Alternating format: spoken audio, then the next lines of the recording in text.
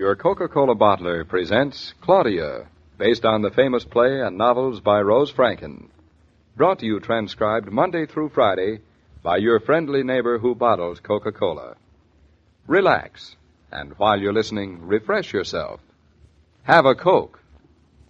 And now, Claudia. Mm-hmm.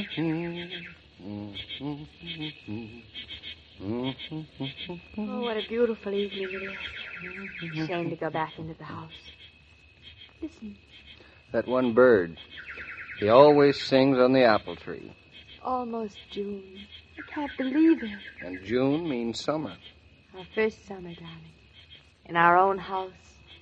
With our own baby.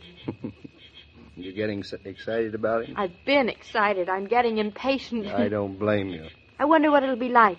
I mean, you and me. You and I. Are you going to correct my grammar in front of our son? I hope that by the time our son is old enough to understand that you will have learned some grammar. Anyways, I was saying, I wonder what it'll be like, you and I having a child. I expect everything will be different. I expect so, but things are always different. I used to hate the idea of life changing, Yeah, I remember. but I don't anymore, darling. I've gotten so that I trust tomorrow completely. Because yesterday and today were so perfect. That's a nice compliment. A nice feeling, too. Well, I hope you're right. I am. It's time that little bird was asleep. What time is it? It's almost nine o'clock. so late? Don't think it's time this little bird were asleep, too? Mm, tomorrow's Saturday. Oh, good, then we can sleep late. Want to go back into the house? Mm, not particularly. It's nice out here. Uh-oh. Phone's ringing inside. Now, who could that be at this hour? Mama? No, she just phoned an hour ago. Maybe she's getting extravagant in her old Oh, age. not a chance. She said she was coming back up in the morning, and unless something's happened. Hello. This is Norton residence. Hello, hello. David, you goop. What if it's somebody? Who you want to speak to? Who is it, for heaven's sake? Missy Norton. Yes, she here. Give me the phone. She busy now, but she speak to you. Have patience. You belong in a lunatic asylum. Shh. He'll hear you. Who'll hear me? The man who's calling you. A man for me? I don't know if I want you talking to a strange man in front of your Japanese butler. What'll he think of your husband? I husband? think he's crazy no matter what. David, who is on the phone? Give it to me, please. Were you expecting a call from a man? Are you jealous? No, Not much. just to prove it to you. Here, talk to him. Thank you so much. Hello? No, you didn't disturb me from anything much. Who is this? Oh, Mr. Varney. Why, hello. Mr. Varney? I, I don't know any Mr. Varney. You may not, but I do. He's a theatrical producer. I saw in New York the day before yesterday, remember? No, him. He can't be much of a producer if he didn't spot your dramatic talent. What's that? Oh, no, I was just talking to my butler. He's so incompetent. I. Oh, you're up in Eastbrook. Well, just a second, and I'll ask my husband. No, I've been promoted. Now I'm your husband. David, be serious for a I'm moment. serious. I'm very serious. Jim Varney is just down the road a little ways, and he wants to drop in and say hello. He's at the Riddles. The Riddles. That's Yeah. that's the house uh, just over the hill. Yeah. Maybe he isn't as stupid as I thought. Maybe he's going to ask you to be in his theater company after all. That is not the point. All he wants to know is can he drop in? Well, do you want him to? Oh, I just as leave not. It's such a beautiful night to be alone. Well, I think maybe it'd be nice. After all, he's going to be up here all summer, and since you have such serious mm. theatrical aspirations, I think you're trying to get rid of me. how'd you guess? Go on, go on. Tell him, tell him, come over. Oh, all right. But remember, if he stays and stays after you get sleepy, it was your idea. I think women get married just so they can have a husband to blame things on. How'd you guess? Hello, Mr. Varney. We'd love to have you come over right away. Who'd you say? Of course I've heard of her. We, we'd love to have you both. Goodbye. Who is her? Victoria Manners. Who is Victoria Manners? You mean to say you've never heard of her? She's Never. a famous actress. The name has a familiar ring. She played the lead in Outrageous Fortune last winter. Oh, that's it, that's it. You don't seem the least bit excited that she's coming over to visit us. I'm not. Why, should I be? Well, I think that a good enough reason would be that I am. All right, if it pleases you. Now, I'm excited. I'm Oh, excited. you Now, don't. now, come on.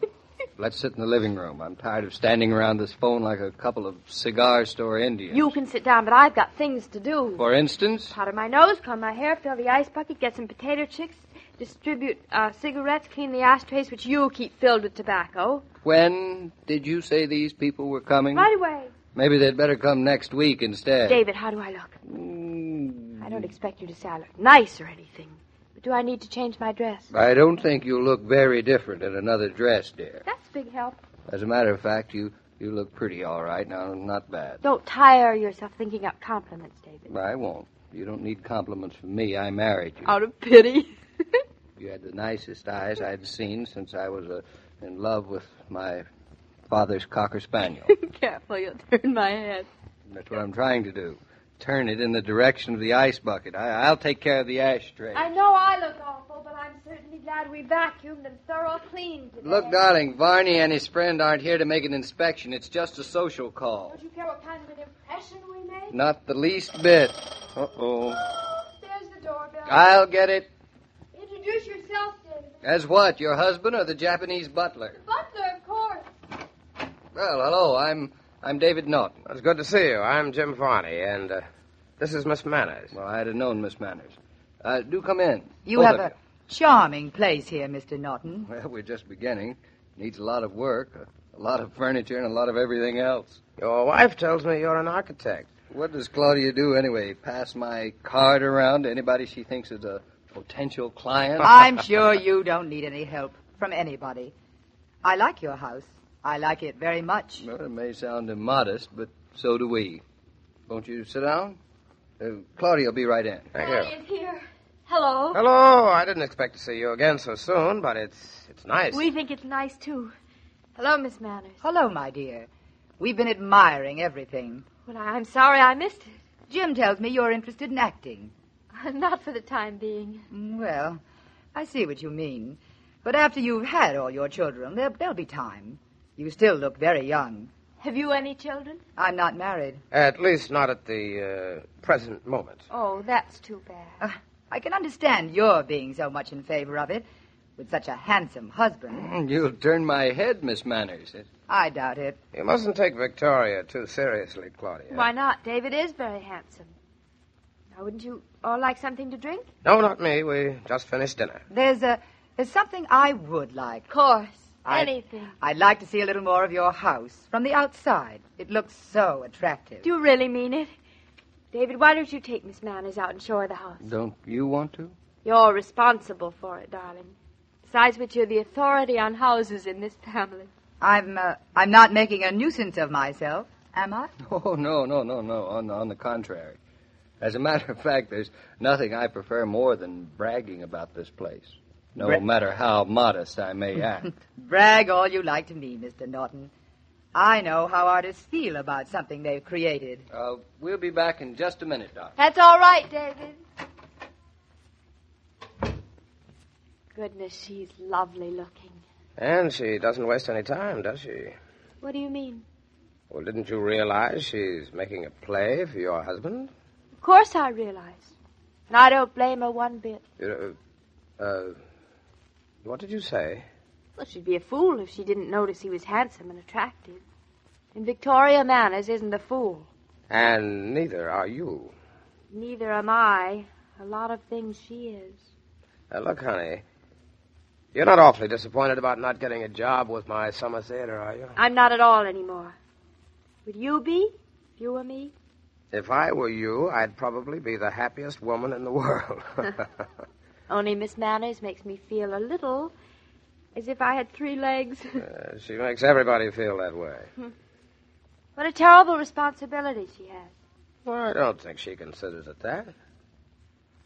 Well, say, where's this famous rooster of yours? Asleep on the job. He's a very baffled bird. He never knows what time of day it is. He crows all the time. That must be very confusing for you. Besides which, he's absolutely useless around the house. Can't even lay an egg. Well, um, why don't you get him a hen? We're thinking of it. hmm Hmm. But David says he doesn't want to start anything.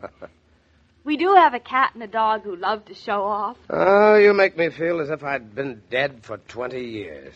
That's a funny thing to say. Hello, hello, we're back. We missed you. I didn't, not a bit. Oh, Jim, you must get Mrs. Norton to show you around sometime. Anytime. I'd love to. And now that I've been terribly rude, stolen David away from you two, and poked my nose into everything, I think we'd better go, Jim. Yes, it's a long drive back to town. It's a lovely night. I wish I were driving someplace. Oh, uh, you have no coats or anything? Uh, thanks for letting us drop in, honey. Well, come again, won't you? Thank you. We will. Indeed, we will. I'll be in Eastbrook all summer, too. And now I'm rather looking forward to it. Good night, all. Good night. Uh, Summer's almost here, isn't it? I like Varney. He likes you, too. Professionally. Wish I'd had a chance to talk with him. It was a funny evening, wasn't it? He certainly didn't stay long. David, she is beautiful, isn't she? Mm, Not bad. Such long legs and such a little waist. I didn't notice. You must be blind. I think you would have enjoyed seeing a nice, slender woman for a change. For a change from what? For a change from me. Now, what do I want a change for? For a change. Besides, you're not slender. Should say I'm not, not now. You're skinny. I've always said you could put a little more on your bones. Oh, darling, you're being so sweet. I'm not being sweet. After the baby's born, I insist that you try to keep some of this weight. It's very becoming. Sometimes I think you're plumb crazy. Now, why am I crazy? Here, one of the most beautiful women in America was making a, a play for you, and you won't even admit you've noticed. You're the one who's crazy. She liked the house. Oh, Victoria Mann is interested in architecture. She liked you. And I'm proud of it. Wonderful to be married to a man whom other women want. You, you're imagining things. Trouble with you, David Norton, is I don't think you appreciate beautiful women. Oh, don't I? You couldn't, or, or you'd, you'd have... How'd you like to take a drive, Mrs. Norton? Me? At this hour? You see, it's a very beautiful night, and I'm very much in love with a very beautiful woman. And there are a few things I'd like to say to her under a beautiful moon. Darling, I didn't mean me. I'm not beautiful. Who cares what you think? I think you are. And that's more important. So here. Here, take my hand. I dream of Claudia with the light brown hair, floating light, da do do do do do. Going on a picnic Sunday? Don't forget the Coke. Remember, any kind of food tastes better with ice cold Coca Cola. Picnic food most of all. Whatever you do to celebrate Decoration Day, it'll be a pleasanter celebration if Coke's along. Your friendly bottler of Coca Cola has asked me to send you his wishes for a good holiday weekend. hello there, Mr. King. Oh, Mr. Varney, thought you'd be halfway into New York by now. Well, we're on our way. I just thought I'd tell you what a very especially attractive couple I thought the Nortons were. I know Miss Manners thought David was. Yes, so much so that I'm almost a little sorry I brought her up to the Nortons tonight. Because when Victoria Manners lets her eyes rest on a man for a moment, usually means that more will be said about it, and very soon. Hmm, I wouldn't worry about David. He can take care of himself. Well, we'll find out on Monday. Victoria has already hinted that grass will not grow under her feet on Monday. Well, when you know Claudia as well as I do, you'll know that this story will have quite a different ending than the one you're worrying about. Well, you know Claudia, but I know Victoria. And my bets are on Victoria. She can't win. You'll see. On Monday. So long, Mr. King. So long, Mr. Varney. As I was about to say, every day, Monday through Friday, Claudia comes to you transcribed with the best wishes of your friendly neighbor who bottles Coca Cola. So listen again Monday at the same time. And now this is Joe King saying au revoir. And remember, whoever you are, whatever you do, wherever you may be, when you think of refreshment, think of Coca Cola. For Coca Cola makes any pause the pause that refreshes. And ice cold Coca Cola is everywhere. These programs star Katharine Bard as Claudia and Paul Crabtree as David. And the entire production is supervised and directed by William Brown Meloney. And now here's a word from your friendly neighbor who bottles Coca Cola.